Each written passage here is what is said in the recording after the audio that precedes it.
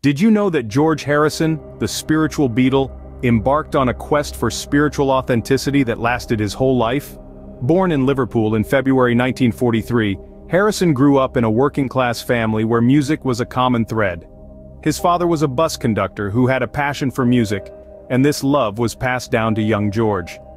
As he matured into his teen years, George found himself drawn to the guitar, his natural talent was evident and before long, he was part of a band that would soon take the world by storm, the Beatles. Alongside John Lennon, Paul McCartney and Ringo Starr, Harrison would become a global icon as the band's lead guitarist. However, it wasn't just the music that defined Harrison. His spiritual journey began in his youth, where he was exposed to Christianity. But the young Beatle found himself disillusioned by the faith. He perceived a sense of hypocrisy within the church, a contradiction between the teachings of love and the actions of its followers. As Harrison once said, not the stained glass window or the pictures of Christ, I liked that a lot, and the smell of the incense and the candles I just didn't like the hypocrisy. This disillusionment didn't turn him away from spirituality though, quite the contrary.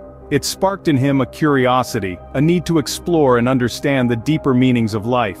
He yearned for authenticity in his spiritual journey, something he felt was lacking in his early encounters with Christianity. But George's spiritual journey was only just beginning, as he soon found himself drawn to the mystic East. This would lead him down a path of exploration and discovery, introducing him to philosophies and practices that would deeply influence his life and music. A trip to India in 1968 marked a turning point in Harrison's spiritual journey. George Harrison, known as the spiritual Beatle, found himself drawn to the mysticism of the East, this was a time of introspection and exploration for Harrison, a time when he delved deep into the philosophies and practices of Indian spirituality.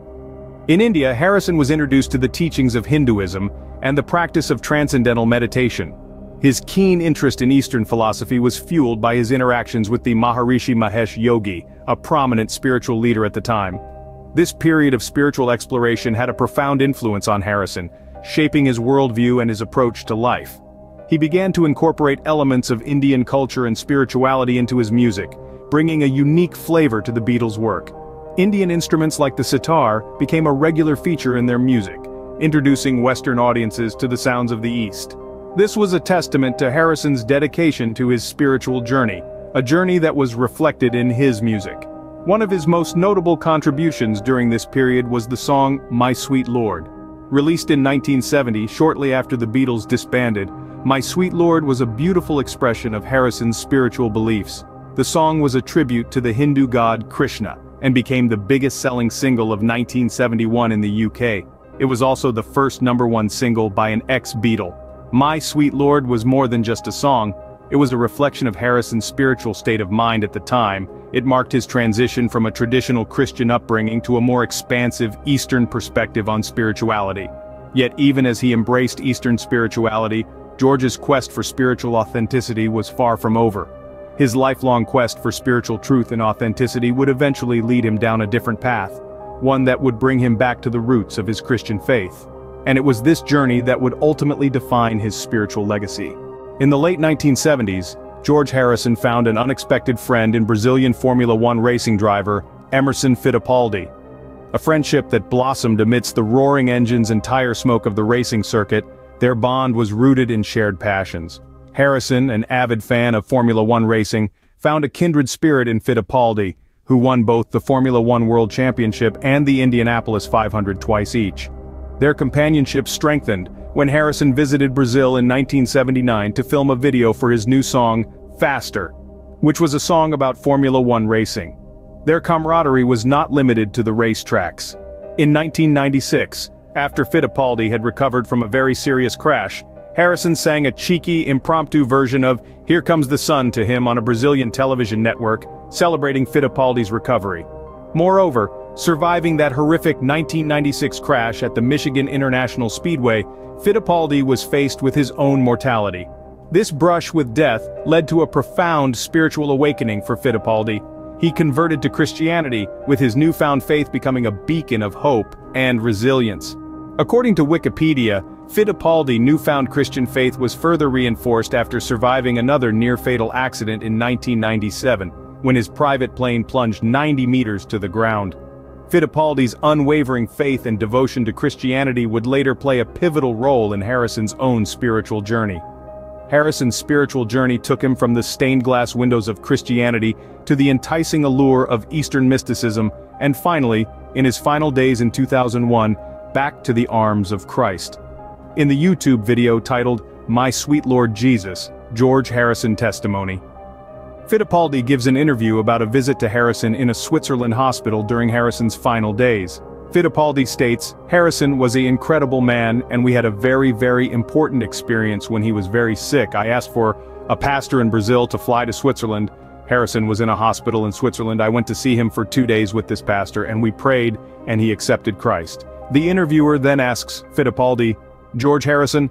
And Fittipaldi answers yes he, Harrison, accepted Christ before he went.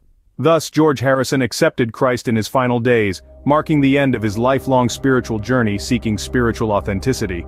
It is widely thought that Harrison died as a devoted and loyal Hindu. Yet, as Fittipaldi's testimony makes clear, when faced with his own impending death apparently, the Hindu religion lacked much to be desired for Harrison personally, and Harrison ended up accepting Christ. In conclusion, Harrison was on a lifelong quest for spiritual authenticity, and in the end he apparently failed to find it within Hinduism, and thus accepted Christ. Or should I say, he embraced an authentic relationship with Jesus which was free from hypocrisy. It is also important to give an example of just how deep Fittipaldi's Christian faith is. In a 2014 article in Sports Spectrum, Fittipaldi is quoted as saying, My advice to you is first open your heart to God and Jesus. You are going to receive so much love, you're going to receive so much life. And it is also important to note that Harrison, who had spent a significant part of his life exploring Eastern mysticism and expressing his devotion to the Hindu god Krishna through his music, would accept Christ as he was nearing death. In short, Harrison's acceptance of Christ was no small act. Obviously and spiritually speaking, this was a significant shift on his part. But it was one that, according to Fittipaldi, he undertook wholeheartedly and willingly. Harrison's acceptance of Christ was not a last-minute conversion, but was, in reality, a culmination of his lifelong quest for spiritual authenticity. It was a testament to his open heart and open mind, his willingness to question, explore, and ultimately find his own spiritual truth. In the end, George Harrison, the spiritual Beatle, found the spiritual authenticity he had been seeking all his life in the person of Christ. Personally, and having grown up with the music of the Beatles, and knowing the story behind Harrison's own lifelong journey looking for spiritual authenticity, I find his acceptance of Christ at the end of his life to be nothing less than astonishing. For me personally, it truly is amazing. In closing I think it is very fitting to note Harrison's final words. According to his wife Olivia, Harrison's final words were, Everything can wait, but the search for God cannot wait. Love one another.